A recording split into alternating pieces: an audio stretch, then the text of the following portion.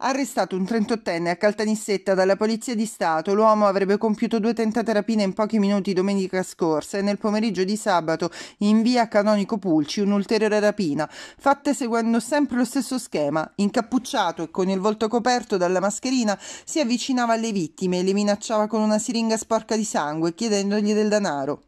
I due tentativi di domenica pomeriggio sarebbero avvenuti uno in via Guastaferro, vicino alla fermata degli autobus, dove l'uomo si sarebbe avvicinato all'auto di due persone chiedendo soldi e minacciandoli con una siringa sporca di sangue.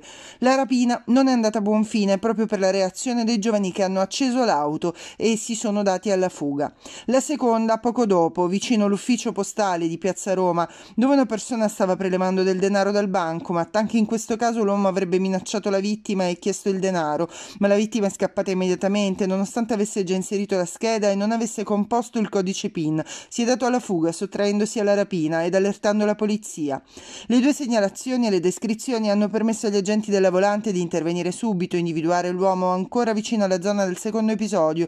Arrivati sul posto, vista la corrispondenza con quanto descritto dalle vittime, hanno fermato il rapinatore. Una volta perquisito, hanno trovato e sequestrato la siringa ed alcuni aghi sporchi di sangue. Una volta condotto in questura, il rapinatore già precedentemente gravato da pregiudizi di polizia, avrebbe ammesso di essere stato l'autore delle due tentate rapine. Così, dopo le formalità di rito su disposizione del pubblico ministero della Repubblica di Caltanissetta, è stato poi condotto al carcere Malaspina. Adesso è a disposizione dell'autorità giudiziaria.